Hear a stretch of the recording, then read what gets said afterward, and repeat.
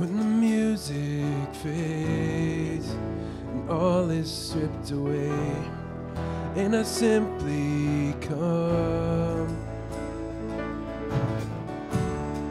longing just to bring something that will bless and will bless your heart.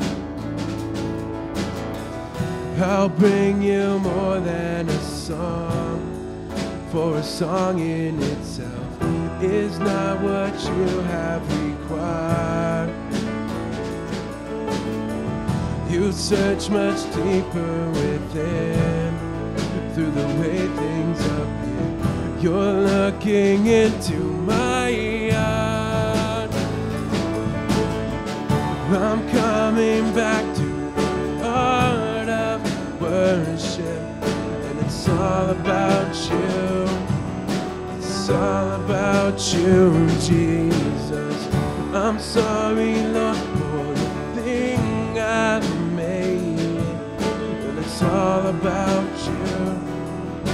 It's all about you, Jesus. King of endless worth. No one could express how much you deserve.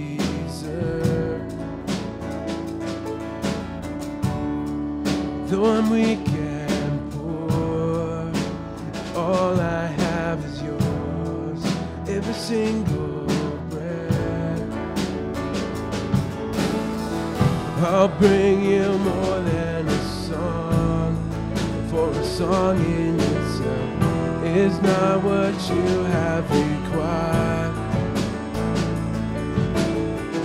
You'd search much deeper within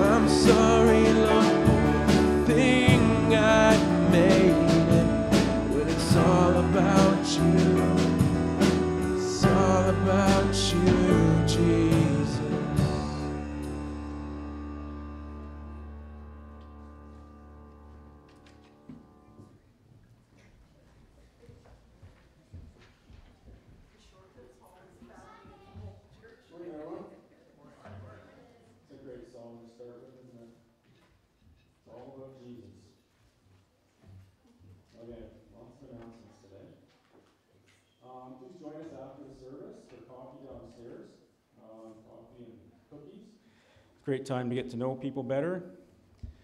Um, and we want to congratulate Sophie Stevens and Josiah Hunter. They got married yesterday um, in a beautiful ceremony out on the family farm. Uh, there was no rain, no bugs, and a little bit of wind, but uh, just ask the Lord to bless their wedding or their, uh, their marriage to come. Uh, family camps next weekend. We have Mike Maharder uh, from the fellowship office as a guest speaker, so we're looking forward to that. Registration closes tomorrow, so if, uh, if you're still thinking about coming, uh, you better talk to one of us. Or, uh, or you can still um, register online. So, church next Sunday is going to be out at Rocknest, so don't come here because we won't be here. It's out at Rocknest, still starting at 10 o'clock. Um, and over the last few months, uh, we've gone through our um, denomination's ordination process with Jared. And uh, Jared wrote a paper on multiple issues and stood before an ordination council made up from the denomination, um, the seminary, and elders. And based on what has been observed and tested, um, the ordination council has put Jared forward for ordination. So that's great. Um, so the ordination will take place next Sunday while we're at Rocknest, and Mike will uh, be, be doing that service. So it's going to be a, a really exciting service, so please come on out for it. Um, there's not going to be any live streaming next week, but um, there will be, it will be available online as of Monday night. We just won't be able to do it from the church. And after the service, um, we'll have the Sunday school picnic. So uh, lunch will be provided, and there'll be games for the kids. Hopefully, decent weather. And uh, since we're having family camp next weekend, there won't be any youth or men's breakfast next week. Okay. Any other announcements? That's all I've got. Thanks. Do people have to bring salads? No. We're going to make some big salads out there. So all the food's going to be provided. Any other questions or comments or announcements? Okay, great. Our scripture reading today is Psalm 100.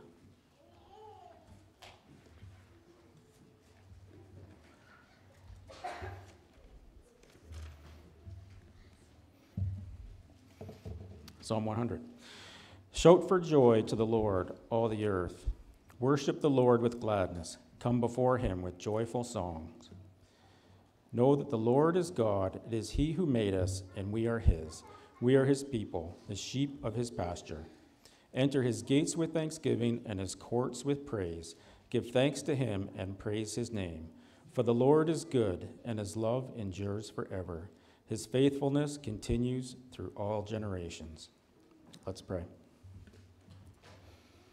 Lord, we thank you for this day, this beautiful day that you have given us, that we can come together as a family of believers. And Lord, we thank you that we can come together in person and online to just fellowship with you, Lord, to be able to sing songs to you, to pray to you, and to spend time in your word. And Lord, we thank you for your creation. Everything that we see in the heavens and on the earth, you have created with your hands. And we thank you, Lord, that you do not change, that you are the same God during, from creation that you are today and that you will be in the future. And we thank you, Lord, that your love and your uh, just thank you, Lord, that your love and goodness and faithfulness never change. That no matter what's going on in this world, no matter what's going on in our lives, you are faithful and you are good. And we can rely on you, Lord. And Lord, we th- thank you for Pastor Jared. We thank you um, that he stands on your word in his teaching. We ask that you would give him strength today as he brings us your word, and that we would hear those words and put them into action in our lives. And Lord, as we think about the collection coming up, we thank you for the plentiful, um, plenty that you give us, Lord. And we think about, we ask that uh, the little bit that we give back to you would be a blessing to your, your uh, ministry here on earth. Lord, we thank you again for this day, and we ask that you would bless our time together. In your Son's precious name, amen.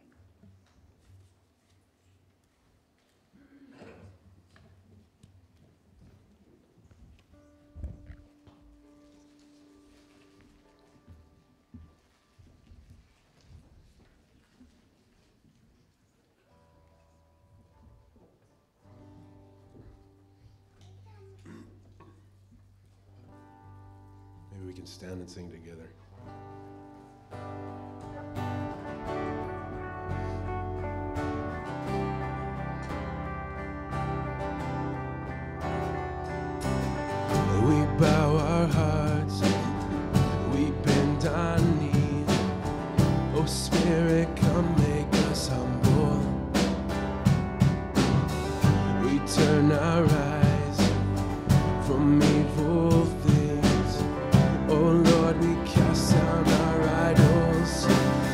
Us clean hands and give us pure hearts. Let us not lift our souls to another. Give us clean hands and give us pure hearts. Let us not lift our souls to another.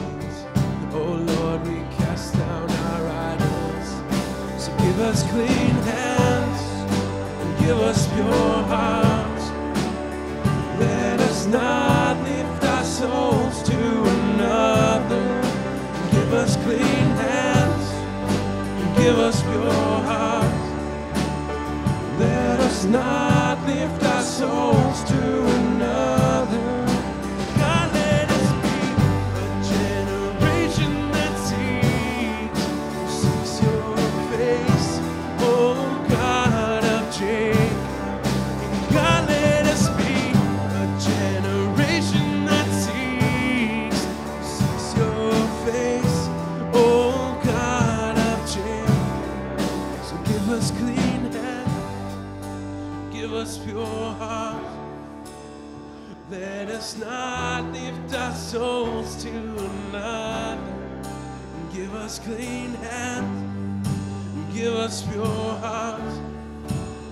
Let us not lift our souls to another. Give us clean hands. Give us pure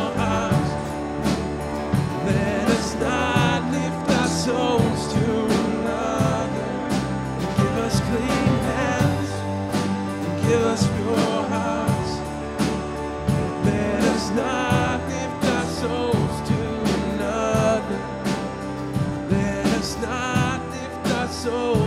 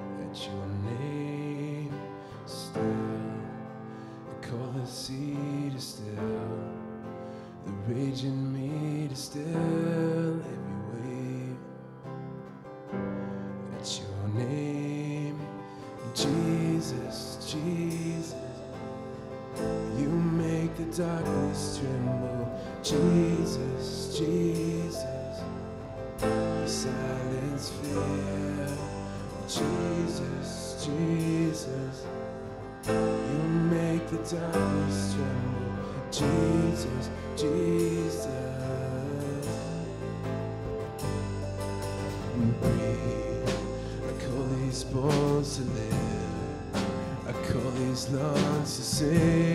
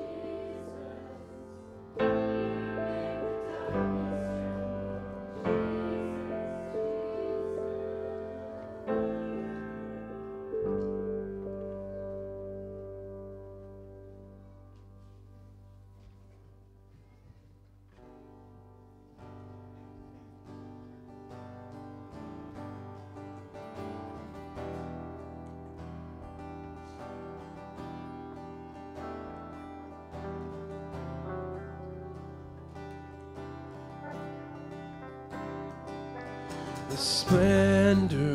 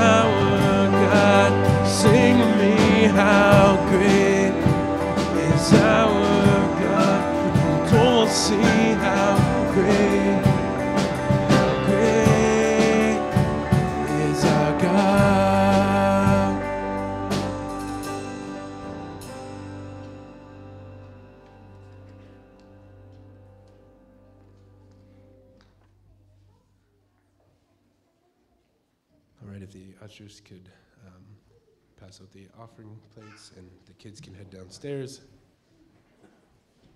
And we'll sing one more song together.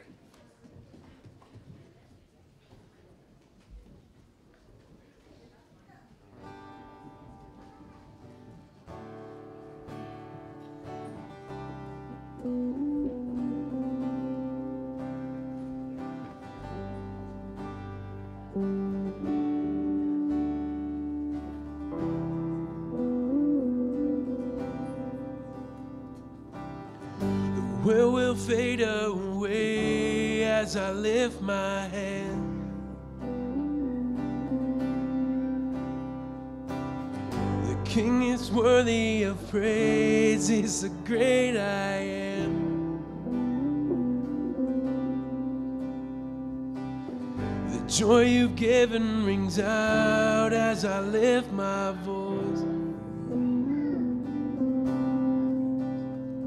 I'm captivated by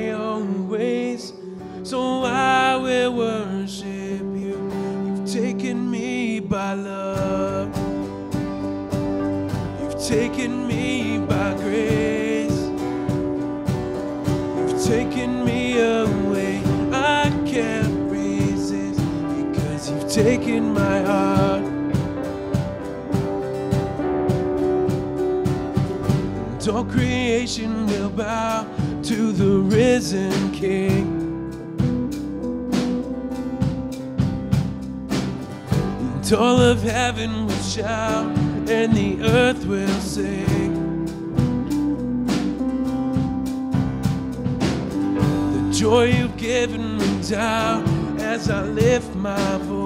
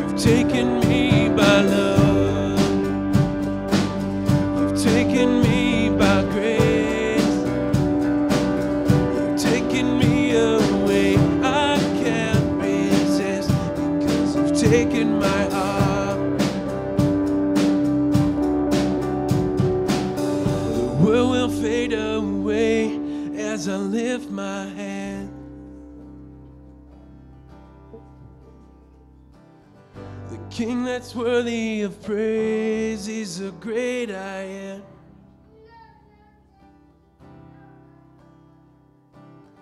The joy you've given rings out as I lift my voice.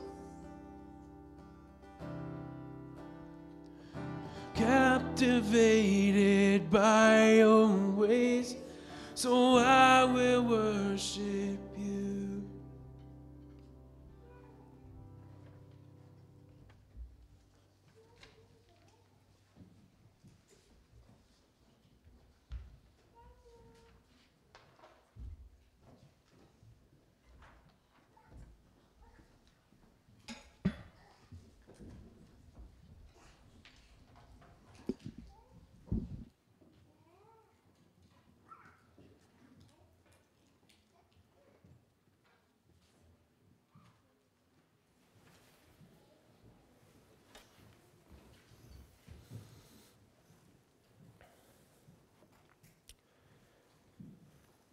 Good morning.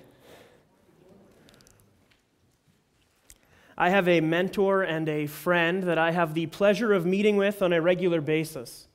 He's in his late 80s and uh, he's been in some pretty awesome leadership positions. He's often able to lend insight into situations in my life. This week, as we talked, he reminded me that even after all these years of faithfully pursuing God, he still has to be reminded of biblical truths and learn lessons that he thought he already knew. And perhaps you can relate. This is something that often really frustrates me. How can I once again be struggling with something that God has already brought me through before? How can I be so fickle? You know when you're wrestling with a child and you need to restrain yourself? Like John and Grace love to wrestle, but they're two years old, and I weigh nearly 200 pounds more than them combined. When I'm wrestling with them, I need to be very careful to make sure that fun playing doesn't turn into accidental injury. I use the kid gloves, so to speak. But this week was one of those weeks where I feel like I was in a fight with someone much larger than me, and they took the kid gloves off. I kept getting knocked down, and every now and then I was dealt another blow. Have you ever been there? Perhaps some of you have been feeling that way lately. As I was speaking to my friend this week, he drew my attention to a great passage, one that I want to examine together with you today. So please turn with me in your Bibles to Philippians chapter 4. We're going to look at verses 4 through 7. Philippians 4, 4 through 7. And if you're able, could you please stand with me this morning as we reverence the reading of God's Word?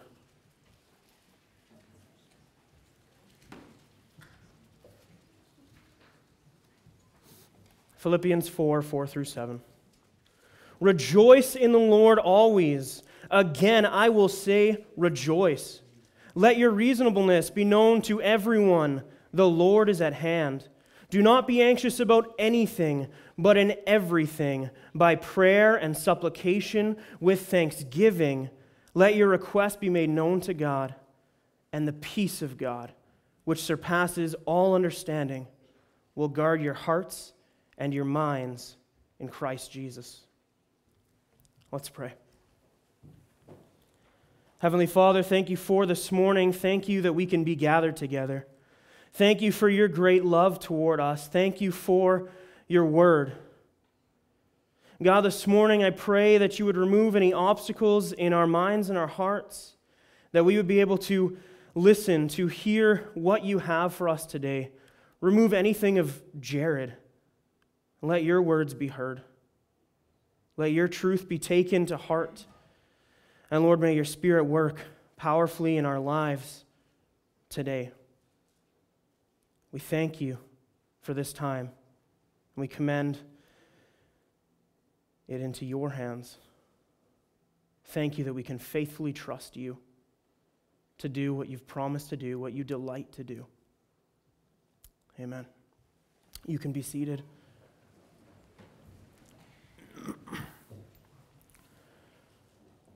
Oftentimes, it seems that we don't need to learn something new, but rather we need to be reminded of that which we have learned before. And this morning, whether this is all new to you or it serves as a reminder, I hope that you can treasure God's words and take them to heart. In our text today, Paul is listing instructions and exhortations, challenges and encouragements for the Philippian Christians. And though these are separate instructions, they pair well, and I think that they're worth considering altogether. Firstly, rejoice in the Lord always. Rejoice in the Lord always. Right away, I want to remove any obstacles that we may have in listening to this instruction. Of course, when we read something like rejoice and always, again I say rejoice, our brains start getting creative and arguing that perhaps words like rejoice and always actually mean something different. The word used here for rejoice means to be glad and rejoice.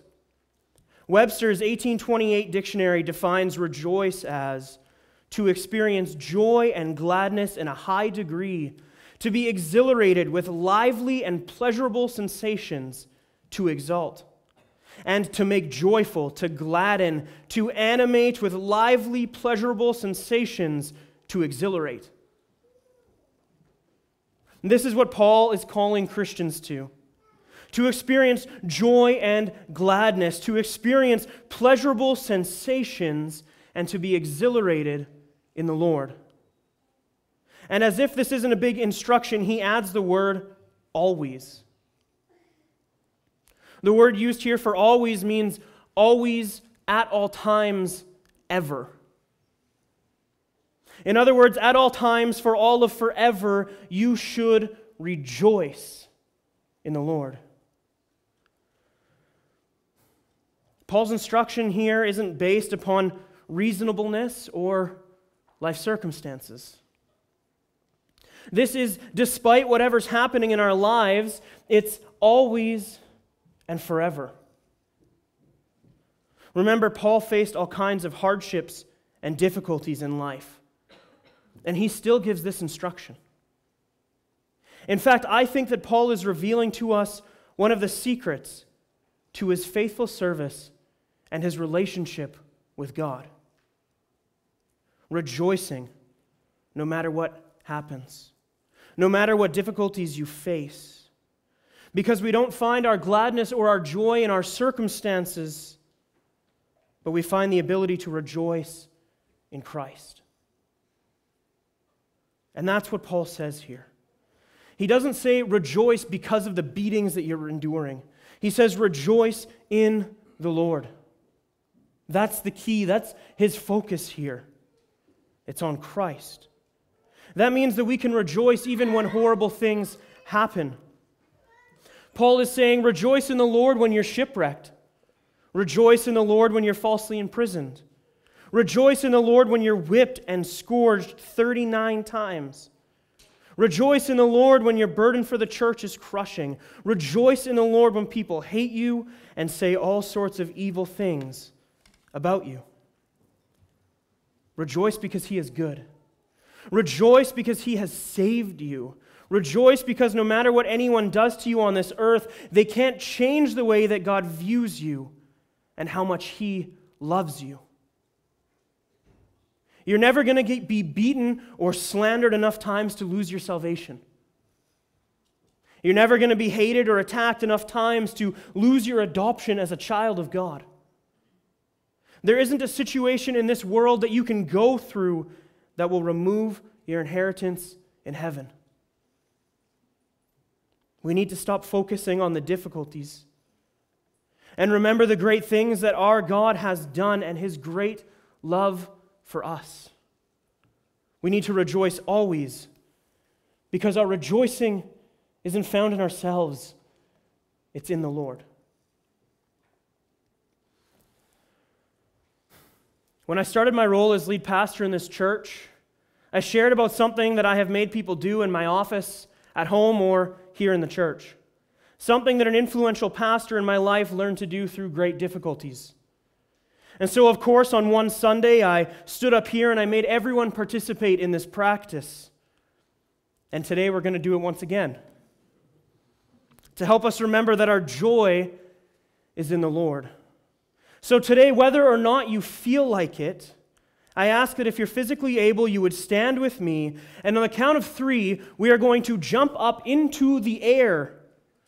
We're going to put one or two hands in the air and yell, yeah, yes, amen, or woohoo. This is called a leap for joy. It's a physical reminder of a spiritual truth. So stand up. I understand some of you can't jump as high as others. That's okay. And the great thing is, we're all embarrassed together. We're learning to let that go this morning. So, on the count of three, jump up, one or two hands. Yeah, woohoo, amen, praise God. All right. One, two, three.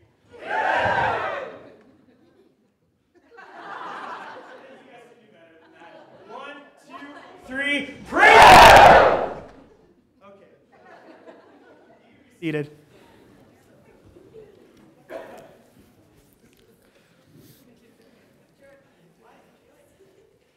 This is a practice that would be something good for you to institute in your life. When those late night moments come, when the weight of the world is crushing, can you leap for joy even when your circumstances stink? We can. We can because our joy, our reason for rejoicing, is the Lord. Secondly, let your reasonableness be known. I don't want to spend too much time on this point this morning, but this instruction is only possible if we are finding our joy in the Lord and rejoicing in all circumstances. The word used here for reasonableness means gentle, mild, forbearing, fair, reasonable, moderate. So Paul is saying, let your gentleness be known, let your fairness be known. And honestly, we don't really live that way or show that kind of behavior or that character if we're busy complaining, grumbling, feeling sorry for ourselves, or getting angry about our circumstances. But if we anchor ourselves in the joy of the Lord and we learn to rejoice at all times, then our gentleness and our reasonableness will be able to be known by everyone, as Paul instructs us here.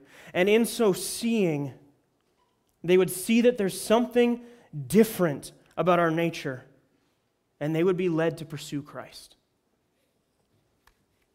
Is your gentleness, is your mildness known?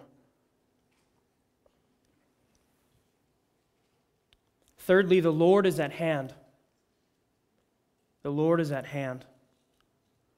This is a two part declaration by Paul. Firstly, just as we examined last week, Jesus is returning, and his return will be at a time that none of us know. We do know that we're supposed to live as if, as if his return will be at any moment and to be alert, to be active, to be ready. And secondly, our God is a very near God. This, the Lord is at hand. At hand means near. His return is near, soon, and very soon, the apostles said. But we know that our God is also a very near God. He doesn't leave us or abandon us. He doesn't leave us on our own to face the trials of our life. He is our helper and our refuge, our strength, our shield, our mighty fortress. He is our healer and defender. And these are just a few of the names that are used for him in the Bible. We also know that God sends his Holy Spirit to live inside of believers to empower us in a variety of ways. And so, in both of these ways, our God is very near to us or at hand. And it's because of this glorious truth that Paul continues on with his exhortation do not be anxious. Do not be anxious. And just like that, all of our problems were gone. right? Unfortunately, it's not that simple. And this is one of those instructions in the Bible that can become a painful annoyance. I don't know about you guys, but I'm, I'm tired of trite Christian sayings. I'm tired of Christian platitudes and motivational bumper stickers and posters. I'm tired of hearing about people going through horrible things and being met by well meaning Christians with simple statements like, the Bible says don't be anxious and just praise God, so that's what you have to do.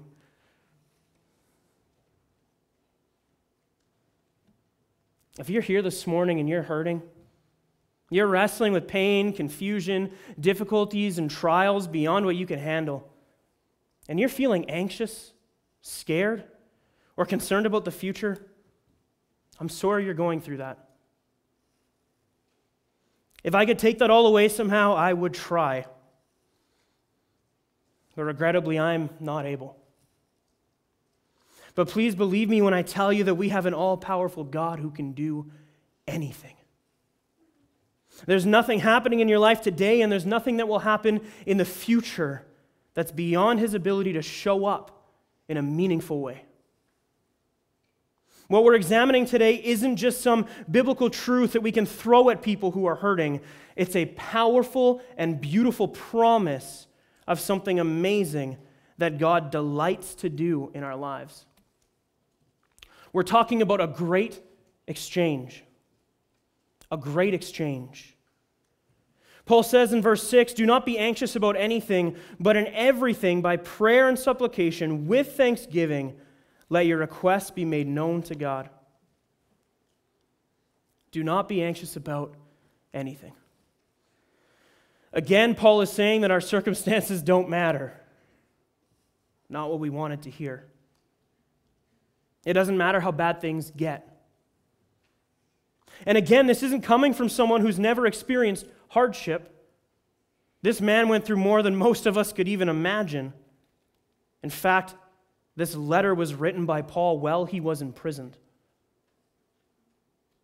Even so, he tells us that not only is our rejoicing not based on our circumstances, but that regardless of what's happening in our lives, we should not be anxious.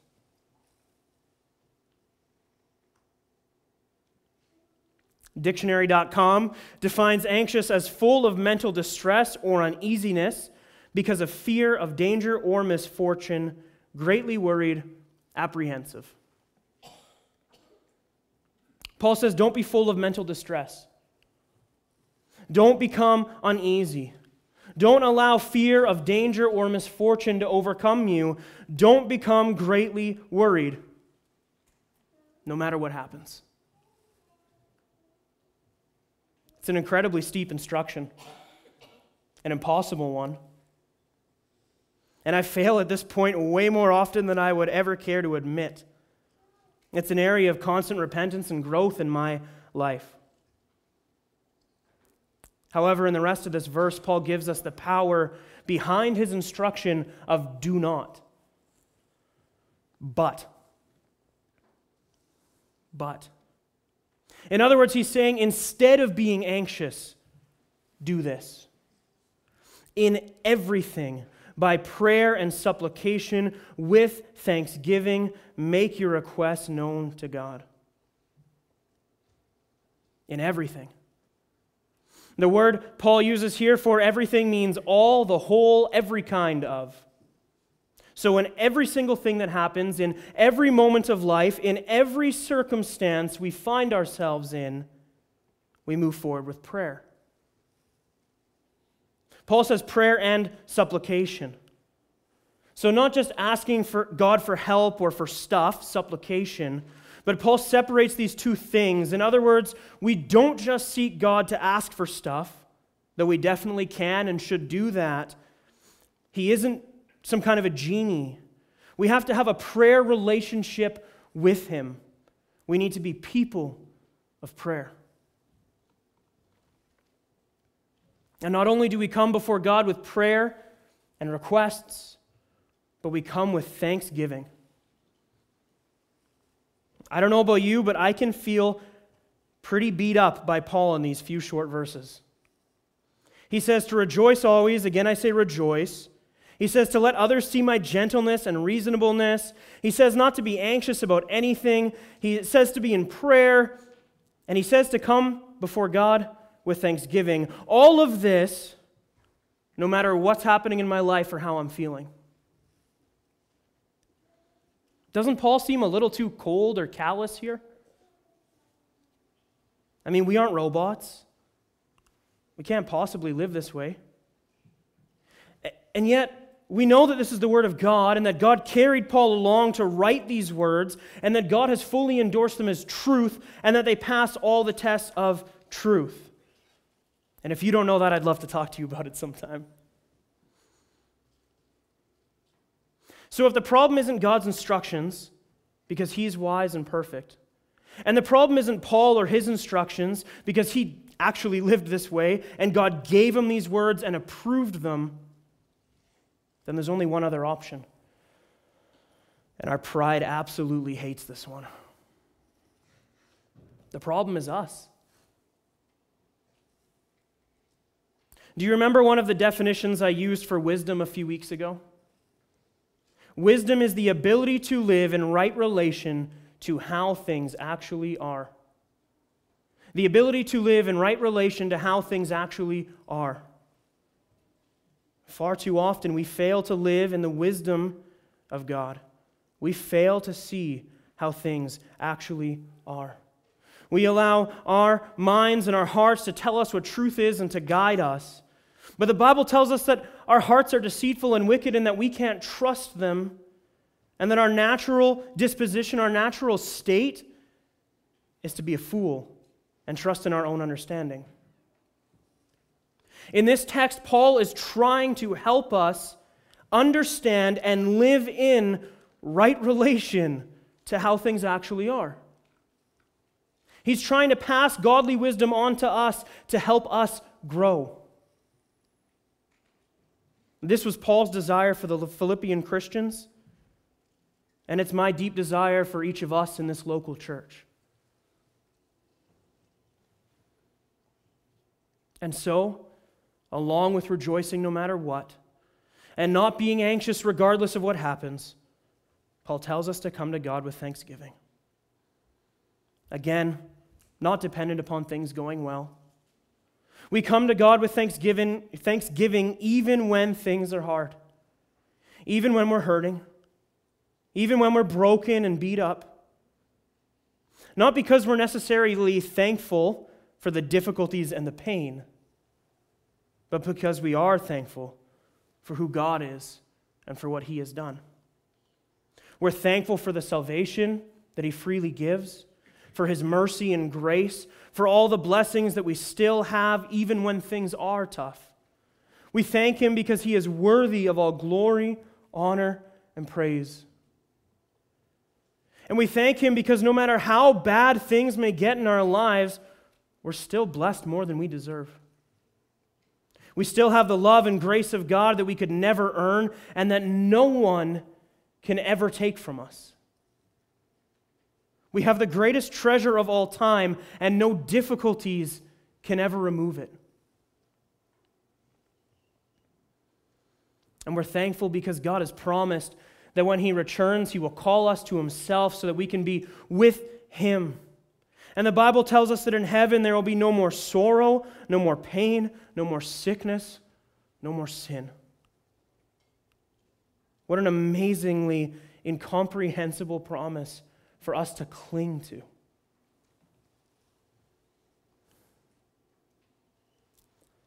And on top of all of that, Paul says something else here he explains to us a great exchange that takes place when we come before God in prayer and supplication with thanksgiving, not being anxious.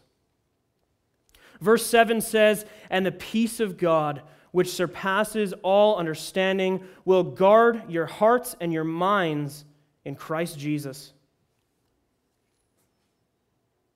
Wow. We can let our anxieties go because God will give us peace.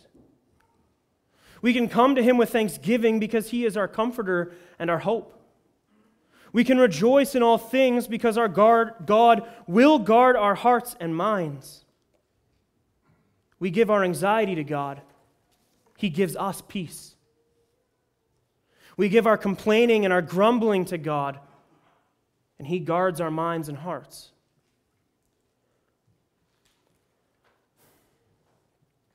Again, like everything else that we examine, it's not about our abilities and our resolve and our strength and our intellect. It's about Christ. It's about a God who loves us and a Savior who gave up his life for us so that we could be saved. We don't drum up or work up this peace for ourselves. God creates it and gives it to us. All we need to do is surrender. All we need to do is come to Him in humility, asking for His help and thanking Him for who He is. Then He makes the great exchange. He takes our anxiety and He gives us His peace. He gives us Himself. What an amazing thing. And like a soldier or a sentry standing guard over a city for its protection, the peace of God will stand guard over our hearts and minds to keep the troubles of this world from disturbing them. When we're continually surrendered and in prayer, giving our anxieties to God, He will continue to give us His peace that guards us. Not only are we incapable of finding this peace on our own, but it, it says that it's far beyond our ability to understand, meaning that it's beyond what our minds could ever produce. It's supernatural.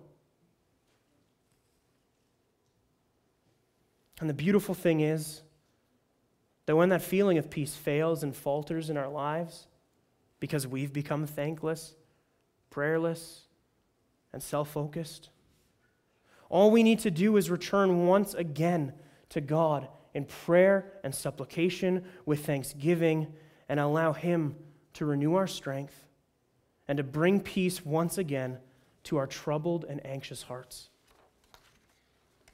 Dear people, no matter where you find yourself this morning, the truth is that we all need God. We need Him desperately. We need His power and strength, and we need His peace. And what a beautiful thing that He delights to give us His strength, His joy, and His peace. Houston Baptist Church, rejoice in the Lord always. Again, I will say, rejoice. Let your reasonableness be known to everyone. The Lord is at hand. Do not be anxious about anything, but in everything, by prayer and supplication, with thanksgiving, let your requests be made known to God, and the peace of God, which surpasses all understanding, will guard your hearts and your minds in Christ Jesus. Let's pray. Heavenly Father, we come before you this morning as a people aware of our weakness, aware of our failings and our falters, aware of our need for you. Lord, forgive us as a people for our sin. Forgive us for the things that we've done, the ways that we've treated one another and those in the world around us. Forgive us for the distractions in our minds and hearts as we pray and as we hear your word proclaimed, as we sing worship to you. Lord, you know how fickle we are, how quickly we walk away, how fast that slow fade really is. Forgive us. And thank you, Lord, that you've promised to forgive. That if we're faithful to confess, you are faithful to forgive us of all of our sins, to cast them as far as the east is from the west. Lord, do that this morning in us, your people. Cleanse us, wash us, renew us, strengthen us, and Lord, take our anxiety away. Give us peace. We live in troubled times. We live in a troubled world, a broken world full of broken people doing hurtful, broken things and it's hard. But Lord, you see all of it. You see our tears. You know our pain. And you love us. Lord, take our anxiety, give us your peace. Guard our hearts and our minds by the power and the work of Jesus Christ. Bless us this day as we go forward from this place. And Lord, be with this time as we shift into communion and to remembering the sacrifice of Jesus on our behalf. Amen.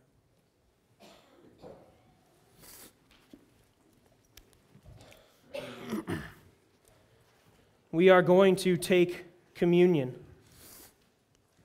Communion is a form of worship. We obey Jesus' instruction to remember the cross and his sacrifice. As we take communion, we think about the great sacrifice of Christ, the significance, what it really means for us. We think about the suffering and the sorrow, but also about the freedom, the victory, and the joy, the peace. Communion is meant to be taken by those who have repented of their sin and believed in Jesus Christ for salvation. If you have not done that yet, just pass the plates by. And if you are not saved or you are living in sin, do not take these elements. As the Bible says, that you will eat and drink condemnation upon yourself. To help us get our focus on remembrance, I want to read a few verses from Matthew chapter 27. Matthew 27, 45 to 54.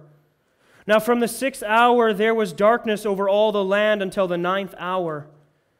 And about the ninth hour, Jesus cried out with a loud voice, saying, Eli, Eli, lama sabachthani. That is, My God, my God, why have you forsaken me?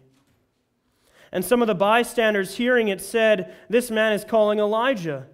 And one of the others said, Wait, let us see whether Elijah will come to save him. And Jesus cried out again with a loud voice and yielded up his spirit.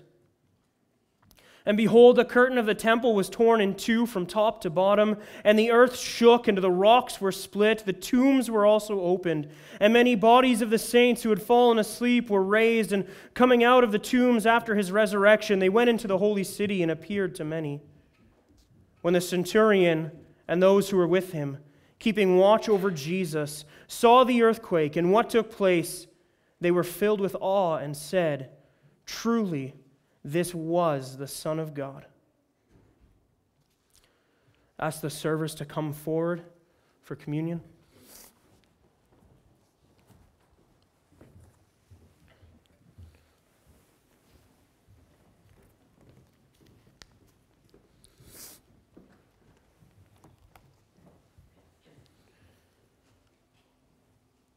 Mike, you're going to pray for the bed.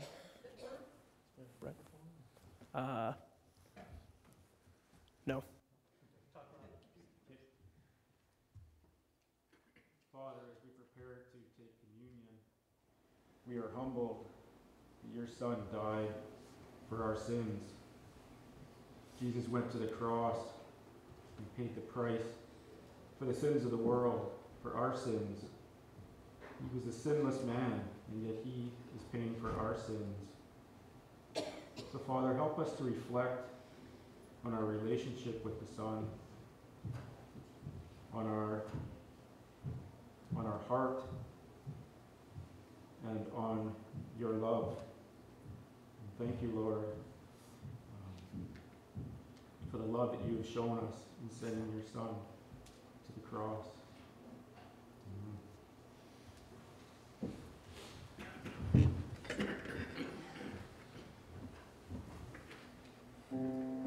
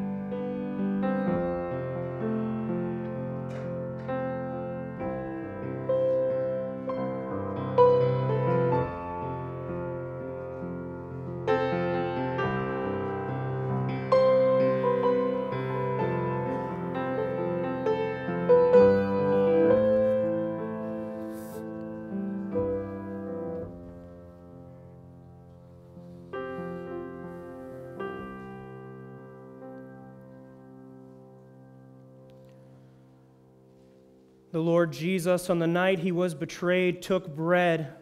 And when he had given thanks, he broke it and said, This is my body, which is for you. Do this in remembrance of me.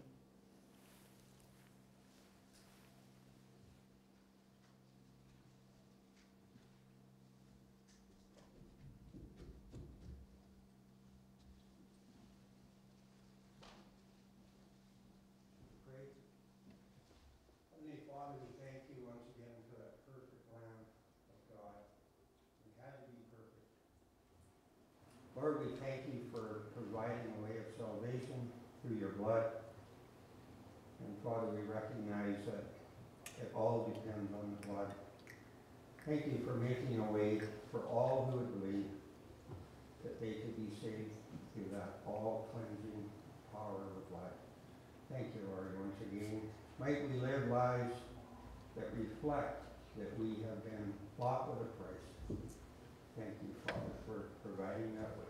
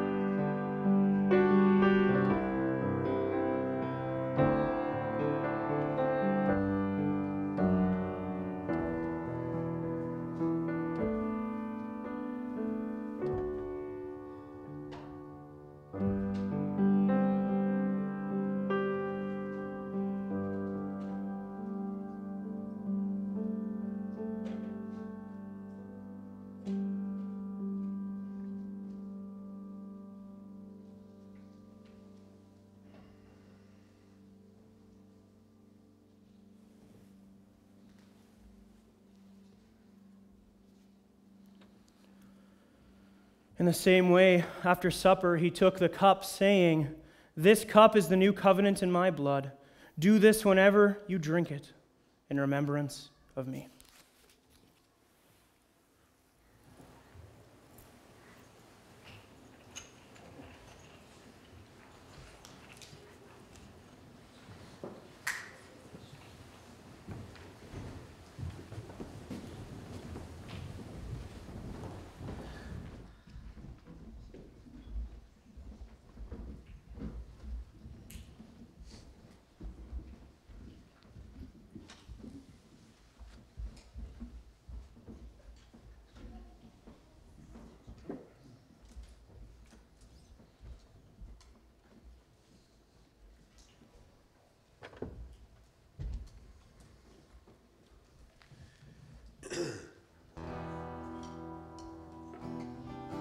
Stand together and sing this last song.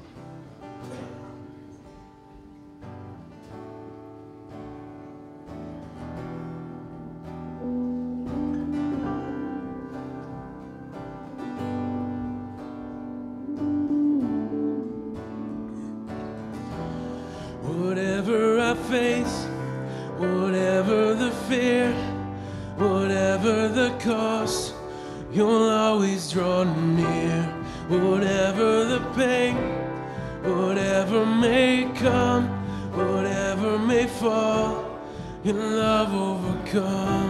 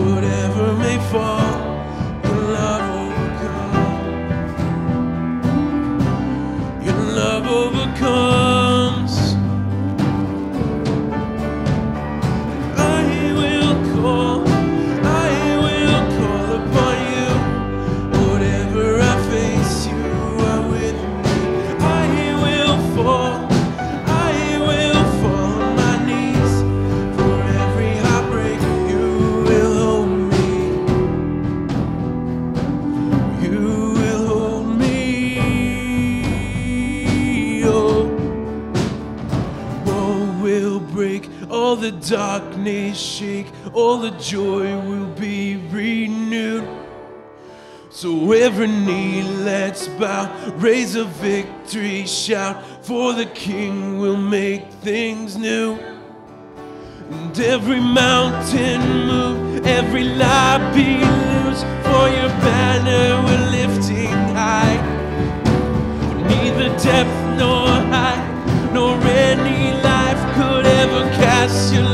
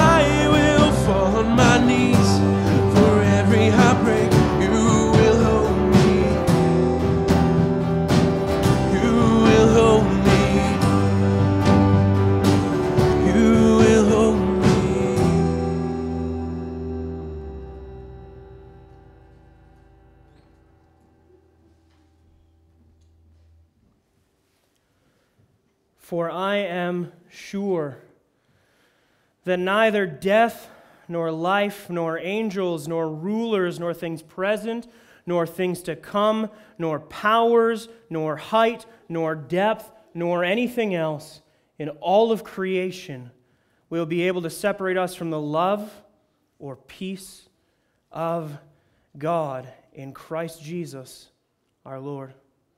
Go in peace and join us downstairs for fellowship.